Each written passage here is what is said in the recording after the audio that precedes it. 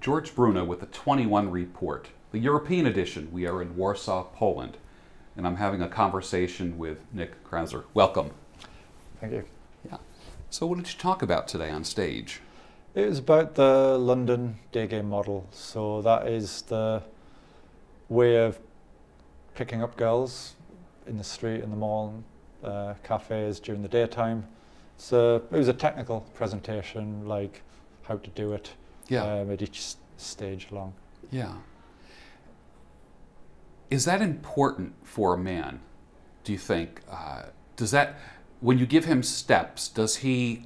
Uh, does do many men need to be have their hands held in that direction? I mean, does it give them confidence to kind of uh, take that first step? Well, I think um, an, an analogy I like to use would be, say, fighting.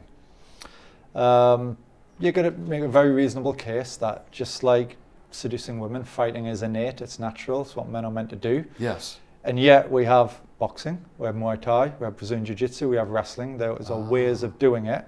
And even if a man has a natural aptitude for it, he can be better by learning correct technique, training his attributes, getting experience so that when the key moment of performance comes, he's better able to handle Mhm. the challenge. Mhm. Even though the whole behavior is in some way innate and natural and everyone has some aptitude. Yeah.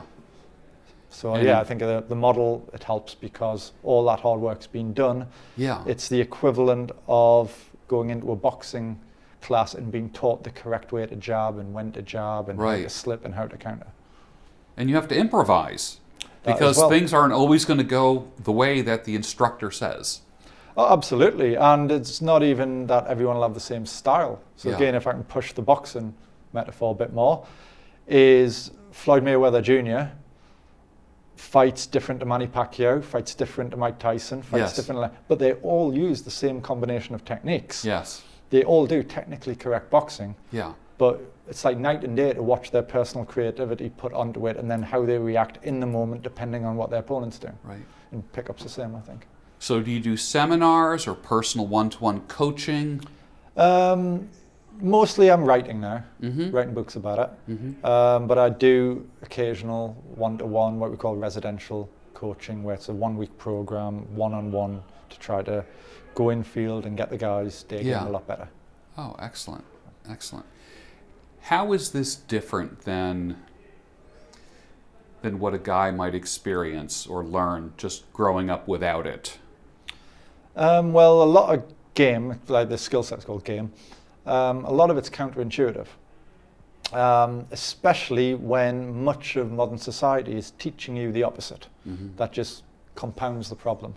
So attraction, so pickup, usually, usually we say it's got three different elements, three different phases, attraction, comfort, seduction. Mm. Now, most men know how to do comfort, normal getting to know each other, normally building rapport. That is relatively in key with what people expect.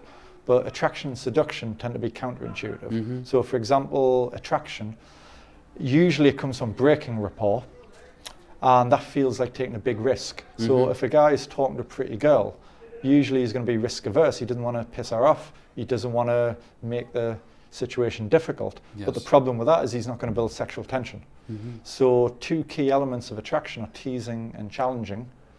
And men usually have to learn that. When they're little kids and they're just throwing stones at the girls they like, it comes naturally. Mhm. But it gets bred out of them so that normally by the time they're 20, they don't really know how to do it. Mm-hmm. So they have to learn. What age of man or age range is best appropriate to learn day game?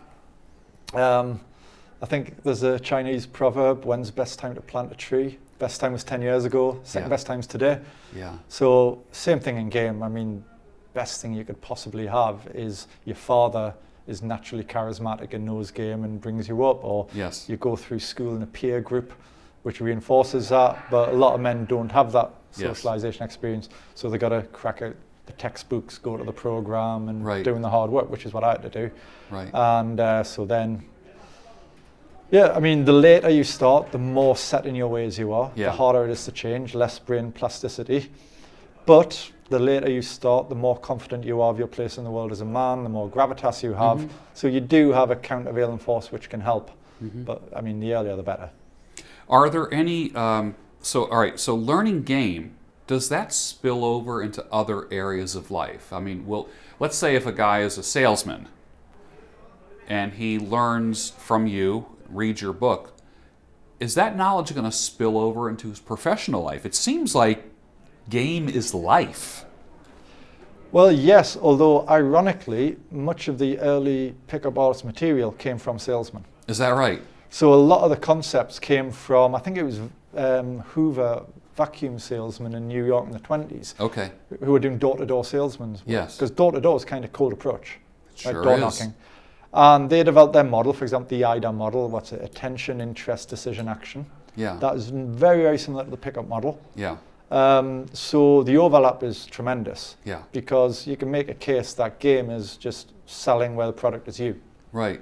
So incredible. Now what you've got is a feedback loop where salesmen can learn from particularly the charisma side of what pickup teaches you. Yes. But I think if you really had to break it, break it apart, I'd say sales came first, pickup came second Okay. in that link. Excellent. Excellent. So any man, could you work with a guy who's 60 years old? Right. Yes, because the way to think of pickup is it's not do this and you're going to, you know, sleep with supermodels, right? That's ridiculous marketing. Not going to happen. What it is is it's all SMV, sexual market value adjusted.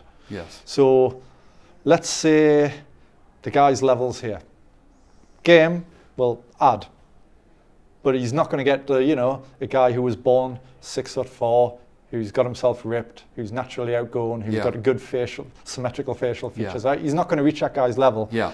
any more than Manny Pacquiao because he's a small guy is Yeah. going to knock out Mike Tyson. Right. Doesn't matter how good Manny Pacquiao is, he's just too small.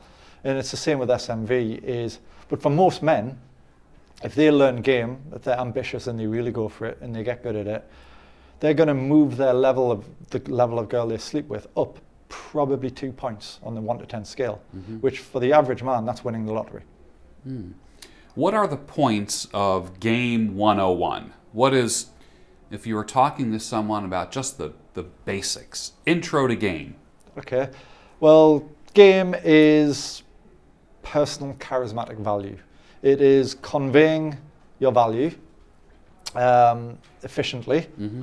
humorously, Mhm. interestingly, and so that you make an impression on the girl. Because it's all about what impression are you making in the girl's mind, Mhm. like to fancy you, to like you.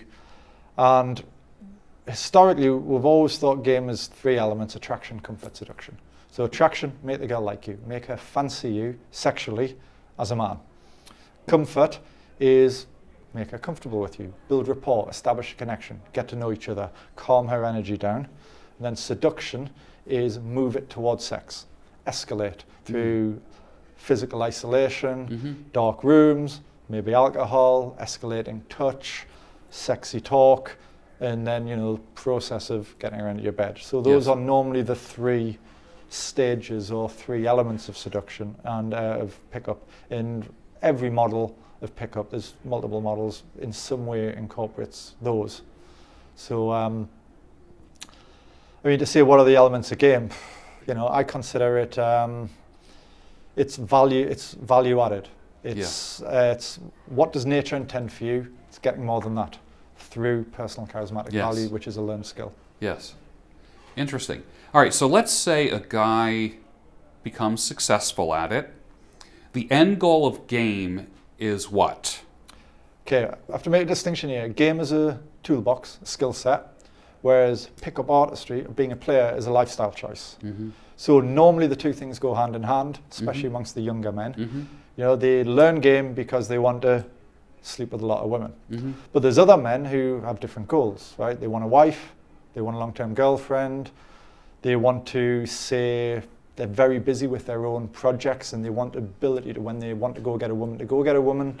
So the two things are different. So you can conceive of men who are very good at game but Mhm. don't often use it. Donald Yes. Trump would be a fantastic example of that Yes. because he's married. Yes. He's got other things to do. Right. And you can also get the, the case of a pickup artist who wants to be a player, but he has no game. He's just inept. Right. So, so you know, the, these things can be broken out separate. So end goals where you got to figure out every man's got to figure out for himself what he wants from life. Mhm. Game is the toolkit in which to improve your interactions with women and make it considerably more likely that you're going to sleep with hot ones. Okay. After a man has a, a long term relationship with no plans of going anywhere, or he's married, is game still important? Yeah, you can game your wife. I mean, um, because game, the word is misleading because it brings in, it invites nuances like manipulation, Yeah. performance, Yeah. that you've got to keep up some kind of act. Yes. But the purpose of learning game, and I call it the player's journey of becoming a player and learning, just like the hero's journey from Joseph Campbell, is you're making deep level identity change. You're changing the very nature of how you interact with people and creating a new normal, a new second nature. Mhm. So if you do these behaviors long enough as a performance, as a skill set, learning with women, that just becomes the way you normally treat women. And a big part of game is learning to understand women, to calibrate from their reactions what they think, what they want, to understand them, to build up healthy mindsets such as abundance and not over reliance on women and boundaries so you don't tolerate their bullshit. All of these things can go straight into a patriarch his family. And even with his daughters, handling his daughters. hmm So game is a life skill. So it's somewhat can be misleading that most people who talk about game, most of the technology of game came from young players running around trying to have sex with lots of women. It's Mhm. got considerably wider implications than that because it's about managing male-female interactions. What are the consequences of not knowing game? Okay, um, underperformance. Put, put simply, it is underhitting your coverage. It is sleeping with less women than you could, with less attractive women than you could, fall into a scarcity mindset where you hang on to a toxic relationship that you should be out of, allowing bad behavior Yeah. in a relationship because you don't feel like you have the ability to get new women. Because the abundance mentality is not how many women do I have? Oh, do I have like five different women I'm dating? Abundance is the confidence of knowing you can go out and get more. So you Mhm. can have abundance even if you've got zero women because you're currently working on a project and staying Yeah. away from them. You know you can go out and get more. That's abundance. And that washes over all interactions, just like a guy who knows how to fight. Mhm. It affects everything. He Mhm. doesn't let a guy bully him in the coffee shop. He doesn't Mhm. get bullied in the boardroom, right? He Mhm. knows how to fight. Doesn't mean he's going to come to blows, but it gives a certain internal steel and internal confidence from knowing you can do it. Right. And game kind of gives you that intersexually.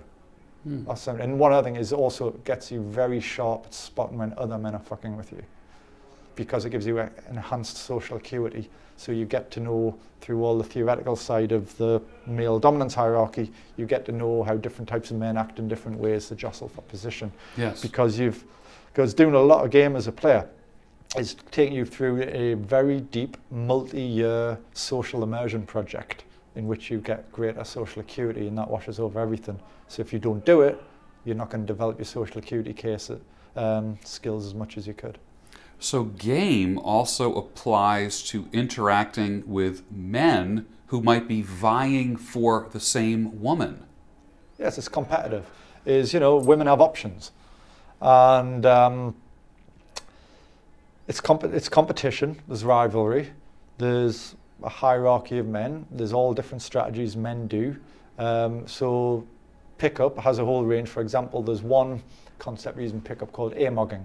It's an acronym AMOG, Alpha Male of Group. And what it means is when men are able to position themselves above you, because general rule is lead the men, the women will follow. Yes. So if you can present yourself as the leader, even if it's in a very small fractal situation, like in a bar, then the women are naturally going to be more attracted to the leader man than the other men. Yes. So if some guy's coming in and doing things which push you down and push, pull him up at your expense, that's going to affect your chances with the women in the room. So you have to learn how to deal with the men. Now I deal in day game, which tends to be solo. You tend to meet girls one on one when nobody else is around. You know, they're shopping, it's in a mall or in a Mhm. cafe. So you don't have to deal with early interaction amogging like you would in a bar or a nightclub, Mhm. where you might be chatting to a girl, then some guy comes over, puts his arm around you, starts fucking with you, and steals the girl from you. Yeah. That's not such a threat in day game. Yeah. But you know, there's always girls always have options. So Yeah. you got to be ready for this stuff. Who has more options, males or females? I think there's an apex fallacy there. Is um, I mean, which I used to suffer from. Is I used to look at hot girls, and I think, God, they have it easy. You know, everyone wants to fuck them. They just have to go to a nightclub, wave their arms about on the dance floor. They get all these offers. But it wasn't until I started dating lots of hot young women that I realised a couple of things. Number one, it only lasts so long. You know, by the time a girl's 23, she's already nervous about the 18-year-olds coming through behind her Mm. who are going to steal her limelight. Mm. By the time she's 30, she's really struggling. And if she's 40, there's a really serious risk that no one gives a shit about her except her family. And if she hasn't got a family, that's a problem. So girls can get it hard. So if you only focus on hot girls, which are themselves only a minority of the female population, Mhm. if you only focus on hot girls at their best, in their prime, in an environment like a nightclub, which is designed for them, hmm you can get the false impression that girls have it really easy, have tons of options. Okay. And then there's also the mix between sexual market value and marriage market value. Is it's I could look at a girl on a dance floor and say, oh yeah, she could fuck any guy here. God, isn't this so easy? I have to work for it. But she doesn't want to fuck every guy Mhm. there.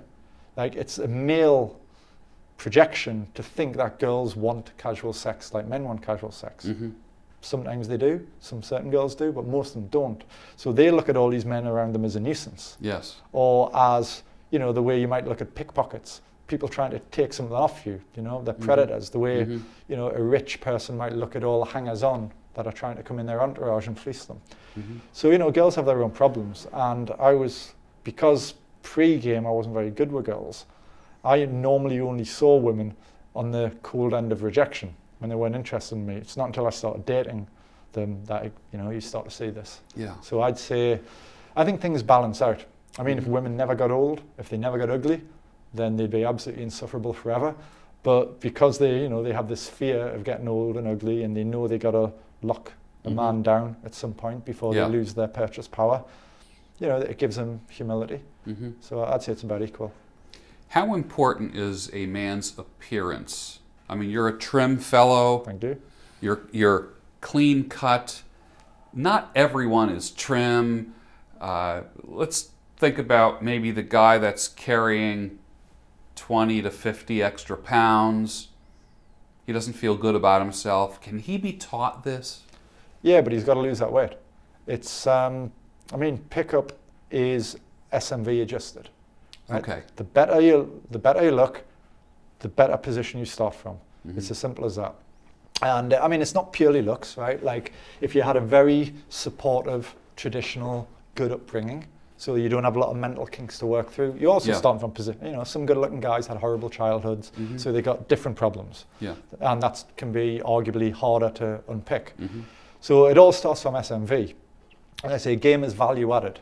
It's not a magic bullet. So if I get a student who's 50 pounds overweight, and, and even worse, let's say he dresses like shit and doesn't have a proper haircut, you know, I'm gonna, I'm not gonna say to this guy, okay, let's just go do our sets. I'm gonna say, look, like, there's nothing you can do this week on your weight, Mhm. but you know, you got to learn how to diet. You got to get into that gym. You got to get your hair cut. Get some proper clothes. You know, present yourself. Show the women who just look at you that you treat yourself with respect. That you have a very high estimation of yourself, and you know you don't mind forgoing the extra slices of pizza. You don't mind cutting back the booze. You get yourself in the gym. You train until you're making noises like a women's tennis match. You know, it's like game is really, really hard. Cold approach is really, really hard, and there's a ton of rejection. So I would say that it's real folly to just make it even harder Yeah. by letting the rest of your life go a bit easy.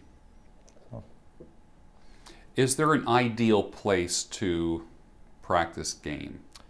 Yes, Central and Eastern Europe is. Uh, I mean, it's it's all about the market, Yes. right? Is um, I mean, it's a sexual marketplace, and some markets are better than others. hmm So, I mean, there's plenty of reason. I'm from the UK. I'm English. There's plenty of reasons to stay in the UK for life, Yeah. right? But if you just want to chase skirt, it's a terrible place Yeah. because the quality is appalling. Yeah. English women are appalling. Yeah.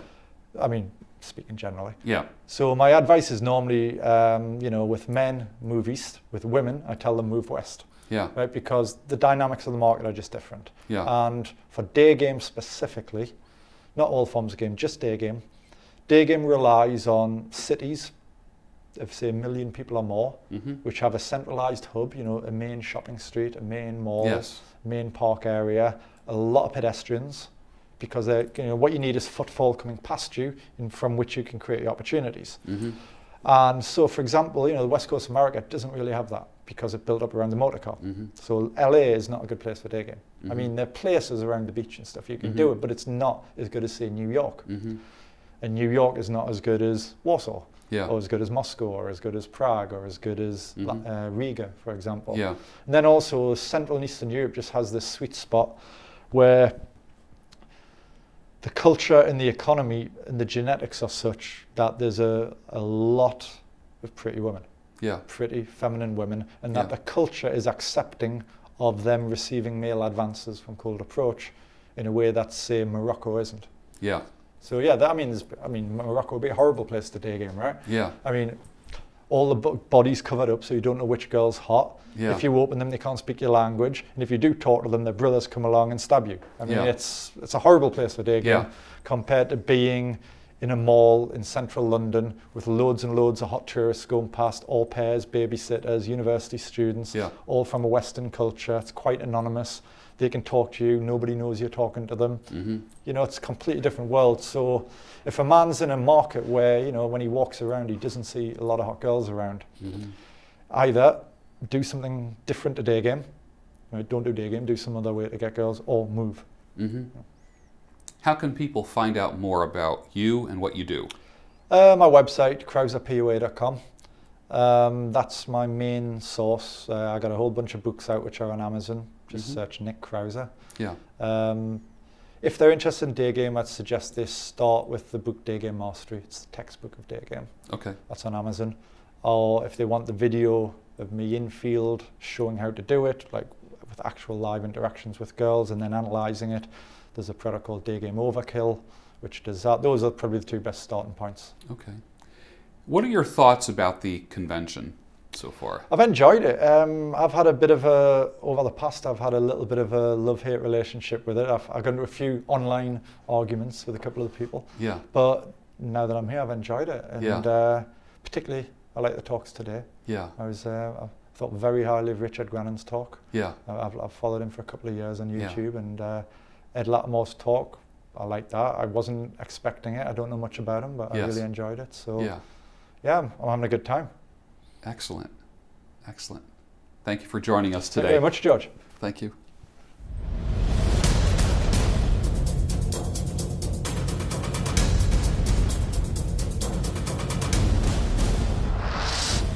What was your experience so far with the 21 convention?